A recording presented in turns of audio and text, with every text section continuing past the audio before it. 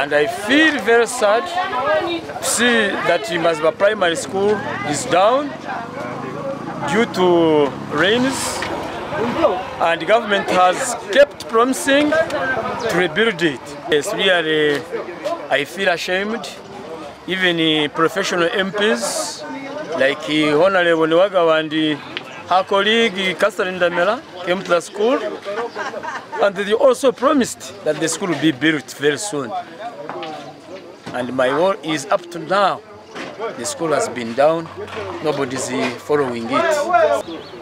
As far as Maziba Primary School is concerned, uh, we are opening on 10th January 2022 and uh, as it has been communicated, the school was washed away by landslide, but still we have to report back to school with runners and uh, in place now we have some few structures which we are going to use as we receive learners.